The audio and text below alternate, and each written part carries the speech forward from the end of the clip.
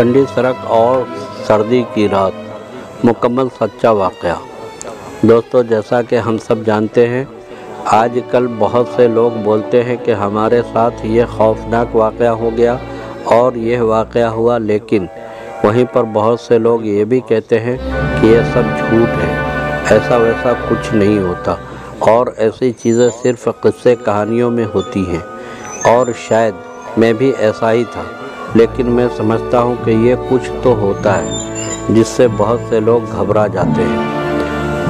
2022 जैसा कि शुरू हो चुका था, और जदीद साइंस और टेक्नोलॉजी का दौर है। फिर भी बहुत से लोग आज भी कहीं ना कहीं किसी डरावने किस्से से खौफ ज़्यादा नज़र आते हैं। इसकी वजह ये भी है कि जैसे हम लोग इस दुनिया में हैं मौजूद हैं। इसी तरह और भी बहुत से मखलूक इस दुनिया में हमारे इर्द गिर्द मौजूद हैं। उनमें से कुछ तो वो मखलूक हैं जिनको हम देख सकते हैं, जैसा कि जानवर, चरिंद, परिंद, कीड़े, मकोड़े, समुद्री मखलूक वगैरह वगैरह। लेकिन कुछ मखलूक ऐसी भी हैं जिनसे हम डर भी जाते हैं, जैसा कि जंगली जानवर, शेर, चीता, भेड़िया, सांप, बिच्छू वगैरह वगैरह। क्योंकि ये सब मखलूक़ात को हम साफ़ साफ़ देख सकते हैं, लेकिन इस दुनिया में बहुत सी ऐसी भी मखलूक़ात हैं, जिनको शायद आज तक हमने देखा ही नहीं। पर वो इस दुनिया में हमारे साथ मौजूद हैं, जैसा कि वह मखलूक जिन, जिनको हम हवाई चीज़ें कहते हैं, उनमें से जिन्नात, चुड़ैल, छलावा और बदरूह शामिल है। और ये वो चीज़ें हैं जो कि ज़्यादातर वीरान जगहों पर खाली पड़े मकानों में पुराने दरख्तों पर गंदी जगहों पर अक्सर पाई जाती है और जिस जगह पर 40 दिन तक सूरज की रोशनी ना पड़े और लाइट ना जले तो ये चीज़ें वहाँ बसेरा कर लेती हैं, क्योंकि इन चीज़ों को वीरानी और अंधेरा ही ज़्यादा पसंद होता है, ताकि उसका किसी भी इंसान से सामना ना हो। और जब हमारा उनसे सामना होता है तो उनको भी इतना ही बुरा लगता है जितना कि कोई अगर हमारी जगह पर कब्ज़ा करे तो हमें बुरा लगता है। इस वजह से ये हमें वहाँ से डरा कर भगाने की कोशिश करती हैं, ताकि हम उस जगह को छोड़ दें और वो अपना बसेरा कायम रखें। और दोस्तों, उनमें भी बहुत से अकसाम होती हैं, उनमें भी बहुत कुछ इंसानों को सिर्फ़ डराती हैं और कुछ ऐसी भी हैं कि जो तहरीर देमी वल और जो कि इंसान को नुकसान भी पहुँचा देती है।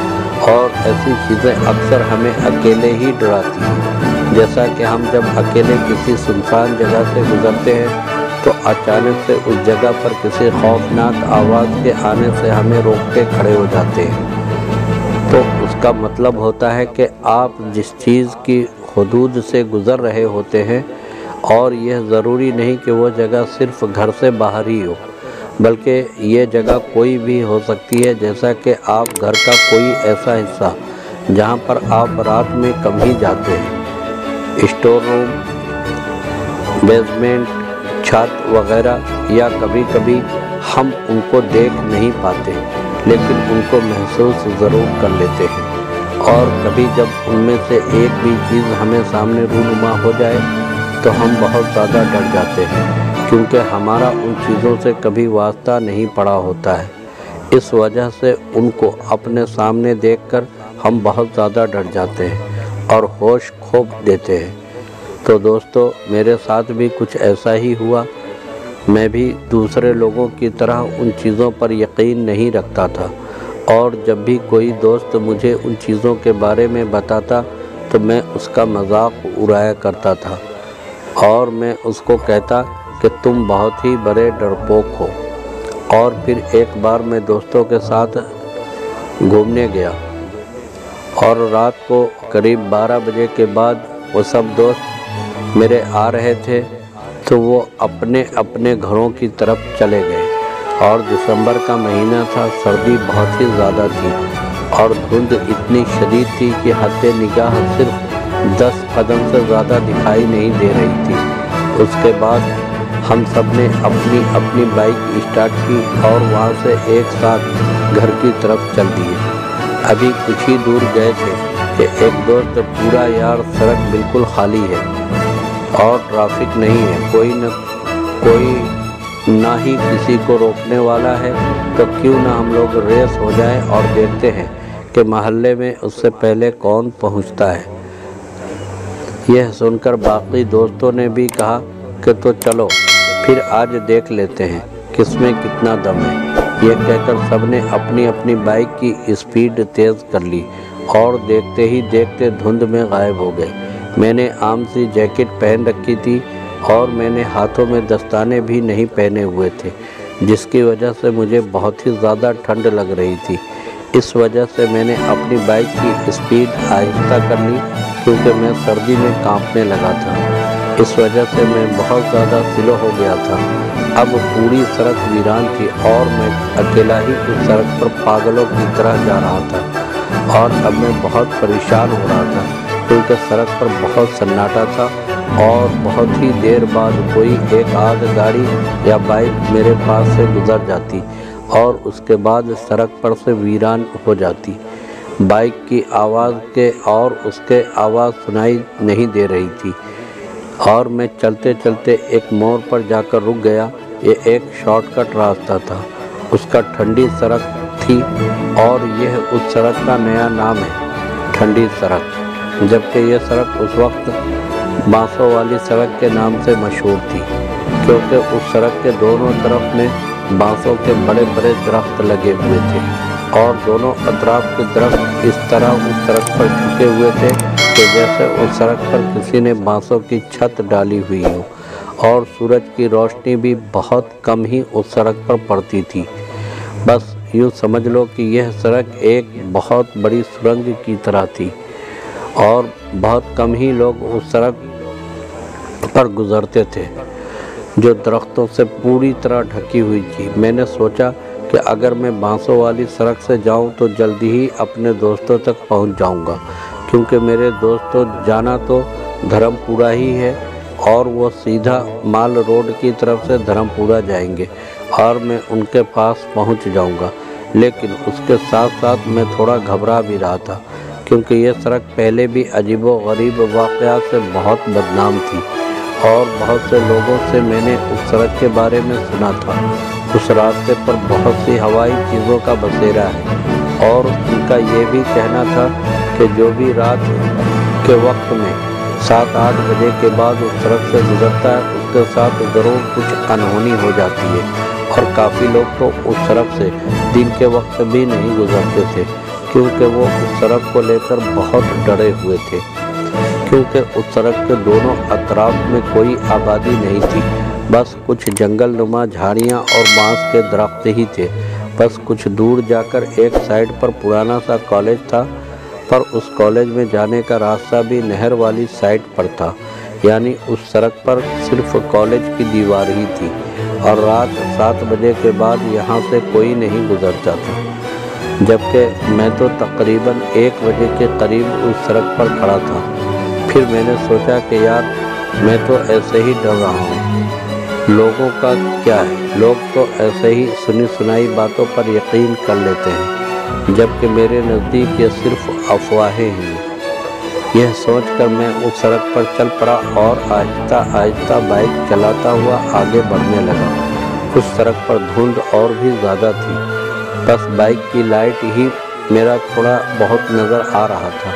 मैं अभी थोड़ी दूर ही गया था कि मुझे ऐसा लगा कि सड़क के बाई तरफ़ पर सफ़ेद कपड़े पहनकर कोई खड़ा है। मुझे, लेकिन मुझे साफ़ दिखाई नहीं दे रहा था।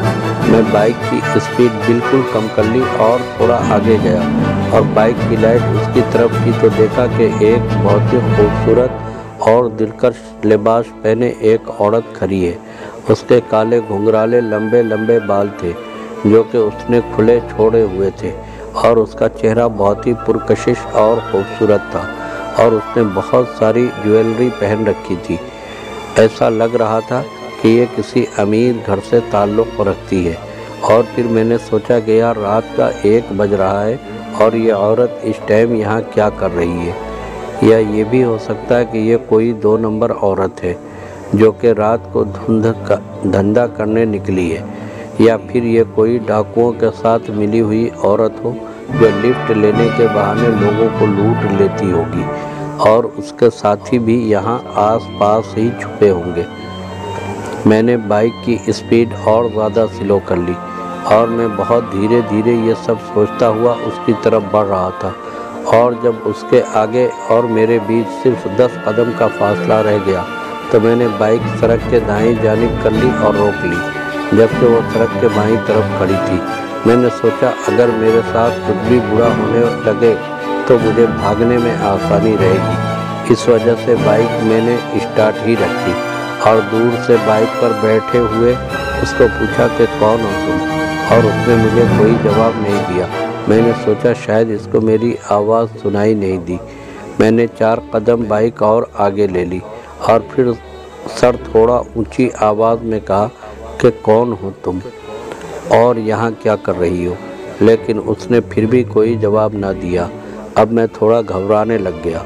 न कोई गड़बड़ और उसके साथ मैं इधर उधर भी देख रहा था कि कहीं उसके साथी तो नहीं आ रहे। आखिरी बार ऊँची आवाज़ में कहा कि देखो, अगर तुमने अब भी जवाब ना दिया तो मैं फिर जाने लगा हूँ। और उसने अचानक से रोना शुरू कर दिया और रोते हुए बोली मैं बहुत ही मुश्किल में हूँ। मैं अपने शोहर के साथ इस रिश्तेदारों को शादी में तकरीब में वापस आ रही थी कि अचानक ही हमारी बाइक पंचर हो गई और हम पैदल चल रहे थे कि मैं थक गई। तो मेरे शोहर ने मुझे, मुझसे कहा कि तुम यहाँ रुको, मैं जल्दी ही कहीं से पंचर करवा कर लाता हूँ और मैं तब से यहाँ खड़ी हूँ। मेरा शौहर अभी तक लौट कर नहीं आया और इस सुनसान जगह पर मुझे बहुत डर लग रहा है। कहीं कोई चोर डाकू मुझे कोई नुकसान न पहुँचा दे और इस वजह से मुझे बहुत रोना आ रहा है। उसकी बातें सुनकर मेरे दिल में रहम आ गया और मैं बाइक से उतरकर उसकी तरफ़ गया और मैंने कहा कि देखें, आप रोए नहीं। मुझे ये बताएँ कि आपका शौहर किस तरफ़ गया है? तो उस औरत ने धर्मपुरा की तरफ़ का इशारा करते हुए कहा, वो उधर की तरफ़ गए। तो मैंने उस औरत से कहा कि अगर आपको बुरा न लगे तो आप मेरे साथ बैठ जाएँ। मैं आपको धर्मपुरा उतार दूँगा। फिर आप उधर से अपने घर चली जाना, क्योंकि धर्मपुरा में इस टाइम भी रिक्शा वगैरह मिल जाएगा। और वैसे भी मैं भी धर्मपुरा ही जा रहा हूँ। उस औरत ने अपनी आँखों से आँसू पोछते हुए कहा कि आपका बहुत बहुत शुक्रिया। आप मुझे बस रिक्शा तक पहुँच ले चलें। और आगे मैं खुद ही चली जाऊँगी। मैं वापस बाइक की तरफ़ गया और बाइक स्टार्ट करके उसके पास ले गया और वह बाइक पर बैठ गई और हम वहाँ से चल पड़े। अचानक से मुझे बहुत ज़्यादा ठंड लगने लगी और मैं बहुत और मैं कांपते हुए बाइक चला रहा था। हम दोनों बिल्कुल खामोश थे, लेकिन मैं बहुत खुश था कि मेरे साथ बहुत खूबसूरत औरत बैठी हुई है। और ऐसे में उसने दोस्ती करने का मौका भी मिल जाएगा। और हो सकता है कि ये बेस्ट फ्रेंड बन जाए। तो मैंने सोचा कि इससे कोई बातचीत ही कर लूँ। मैंने उसको अपने बारे में बताया कि मेरा नाम ये है और मैं फ़लाँ जगह रहते हैं और आज मैं फ़लाने काम से गया था, लेकिन वो खामोशी से बैठी, मेरी बातें सुनती रही, पर उसने मुझसे कोई बात नहीं की। अब मैं सोच रहा था कि शायद उसने मुझे कोई घास नहीं डाली। तो मैं कुछ देर के लिए वापस चुप हो गया और ख़ामोशी से बाइक चलाता रहा और थोड़ी देर के बाद मैंने उससे पूछा कि आपका नाम क्या है और आप कहाँ रहती हो? लेकिन उसने कोई जवाब नहीं दिया। मैं आगे देखते हुए उससे इधर उधर की बातें करता रहा, पर उसने मुझे फिर भी कोई बात न की। अब मुझे उस पर गुस्सा आ रहा था। मैं सोचने लगा कि ये एक खूबसूरत और बहुत ज़्यादा घमंड कर रही है और मुझे नज़रअंदाज कर रही है। मैंने कहा कि देखो, मैं नहीं जानता कि तुम मेरी बात का जवाब क्यों नहीं दे रही हो, लेकिन कुछ तो बात करें, मुझे लगता है कि मैं खुद से बातें करता जा रहा हूँ। अब कुछ बोलो भी, तभी किसी ने मुझे खौफनाक आवाज़ में गुस्से से कहा कि चुपचाप आगे देखकर चलो, वरना पछताओगे। मैं चौंक गया और अब मैं थोड़ा सा डरने लगा, क्योंकि मैं सोच रहा था कि कहीं ये गुस्से में आकर मेरे ऊपर किसी किस्म का इल्ज़ाम न लगा दे। लेकिन मैंने पीछे नहीं देखा। मैंने बाइक तेज़ कर ली, पर वो सड़क ख़त्म ही नहीं हो रही थी। और जब मैंने गौर किया तो बाइक अभी भी बिल्कुल सिलो थी, जबकि मैं उसको चौथे गियर में फुल तेज़ चला रहा था। ऐसा लग रहा था जैसे बाइक पर किसी ने बहुत ज़्यादा वज़न रख दिया है।